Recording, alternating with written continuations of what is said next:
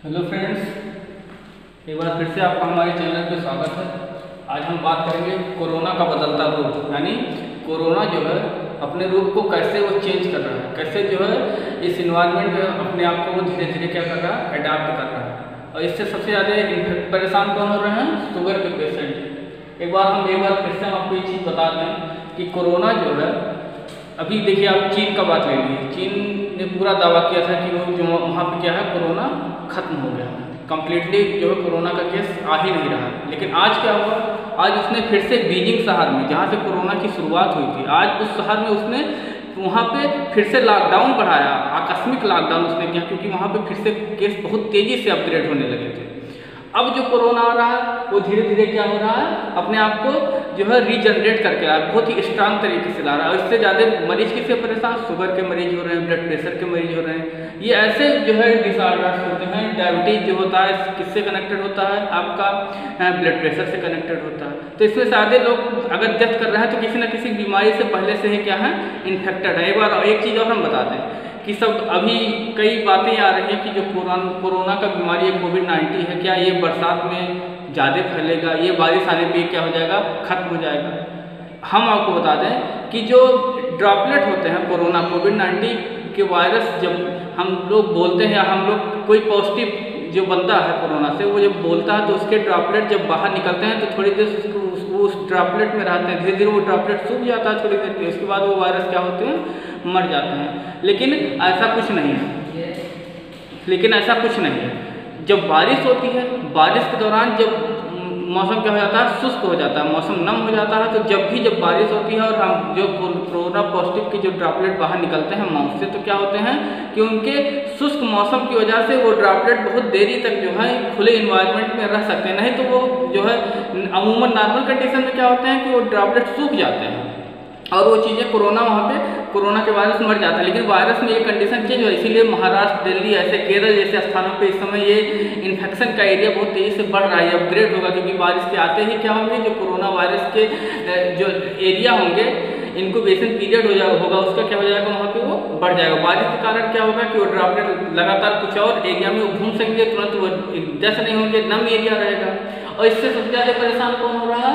Sugar का मरीज़, क्योंकि उसकी इम्यूनिटी वीक हो जाती है। सबसे पहली बात है उसकी इम्यूनिटी वीक हो जाती है, उसकी इम्यूनिटी सिस्टम डिस्टर्ब हो है। दूसरी सबसे बड़ी बात क्या होती है कि वो एक तो शुगर शुगर के कारण उसको, उसका जो है ब्लड प्रेशर क्या कर जाता है अल्टर कर जाता है, यानी ब्लड प्रेशर बढ़ जाता है ब्लड प्रेशर घट जाता है, इससे क्या होता है, फालिश के चांसेस भी बढ़ जाते हैं।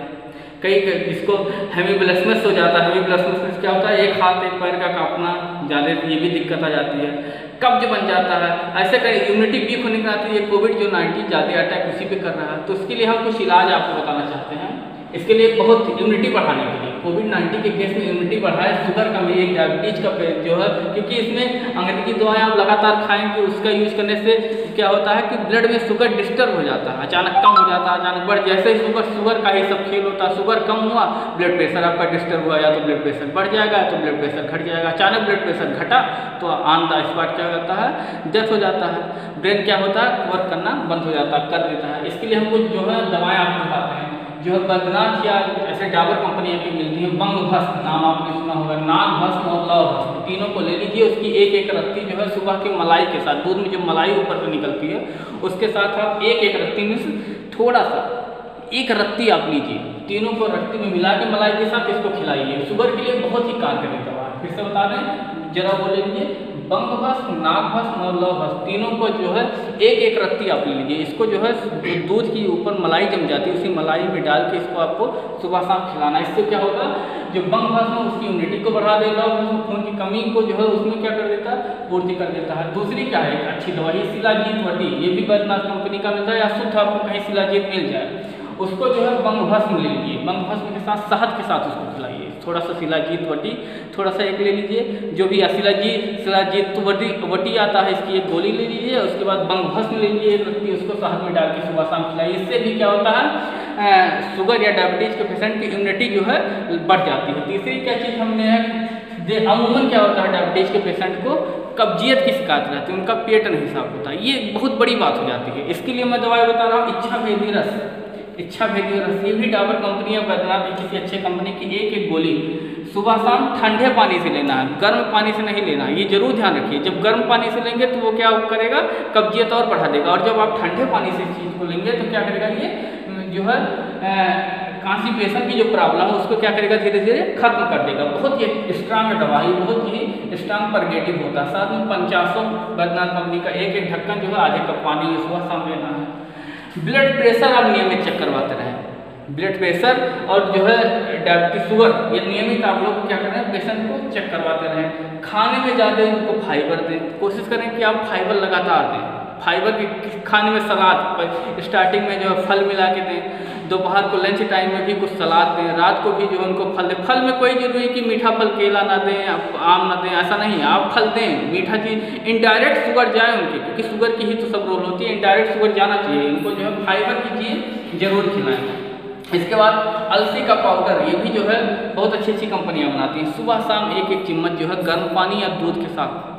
जो है, मिला के दें। इसमें दूध थोड़ा सा वर्जित होता है वाइट चीज़ आपको नहीं खानी रहती है। लेकिन कई लोग को आदत पड़ जाता है तो आप जो है, अलसी का पाउडर सुबह शाम जो है, गर्म पानी के साथ उनको क्या है, ये चीज़ प्रोवाइड करवाएँ। एक देसी उपाय हम बहुत बढ़िया इसके लिए बता रहे हैं डायबिटीज़ के लिए। मेथी। मेथी को आप भिगो दें। खाना खाने के बाद वही भिगो, उसको मेस नहीं करना है। उसी मेथी को एक चम्मच जो है, फाक लें और गर्म पानी आप पी लें। जो भी डायबिटीज़ के पेशेंट बहुत ही कारगर उपाय सुबह शाम यही नियमित क्रिया करनी है। अगर मान लिया कोई पेशेंट इससे इन्फेक्टेड हो जा रहा है, मान लिया कि कोई डायबिटीज़ का पेशेंट है, ये कोरोना से क्या हो जा रहा है? इन्फेक्टेड हो जा रहा है। तो उसके लिए एक आयुर्वेदिक दवाई है, कफ कुठार रस। कफ कुठार रस।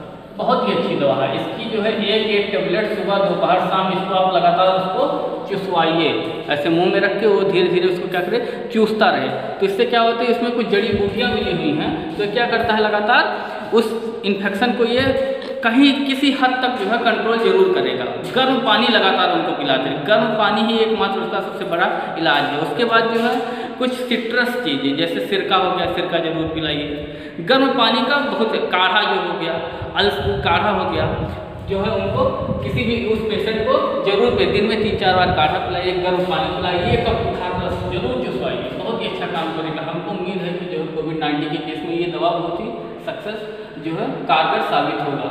और ये दवाएँ जो हैं शुगर के पेशेंट के लिए अमूमन और क्योंकि जो है कोविड नाइन्टीन का केस लगातार बढ़ता ही जा रहा है और नए नए तरीकों से बढ़ रहा है। नया नया रूप वो ले रहा अभी देखिए, चीन खुद परेशान हो गया। आज का नया योग आया है कि उसने लॉकडाउन को जो है, अचानक उसको जो है फिर से अपने बीजिंग शहर में जो कितना बड़ा दावा कर रहा था, इतना ज़्यादा वो कर रहा था, उसको अचानक जो है, क्या करना पड़ा है? जो है लॉकडाउन फिर से बढ़ाना पड़ा है। भारत में भी महाराष्ट्र दिल्ली ऐसे जैसे जगहों पे लगातार जो है अस्पताल नहीं खाली मिल रहे हैं, लोग कितने परेशान हो रहे हैं, पैसा लेकर दौड़ है तब भी इलाज नहीं हो पा रहा। तो ऐसे में आयुर्वेद का सहारा बहुत ज़रूरी है। क्योंकि हम खुद अपने शरीर का नहीं ध्यान देंगे तो कैसे ही सर्वाइव कर पाएँगे? एक से एक वायरस बारिश का मौसम आ रहा है, उसमें और भी वायरस जो है एक्टिवेट हो जाएँगे। आप पूरा इस वीडियो को देखिए। वीडियो अगर आपको पसंद आया हो तो सब्सक्राइब कीजिए लाइक कीजिए और शेयर ज़रूर कीजिए, क्योंकि जो डायबिटीज़ के पेशेंट इस वीडियो को देखेंगे तो उनको अच्छी सी जानकारी मिलेगी और ये दवा जो है वो यूज़ कर पाएँगे। धन्यवाद।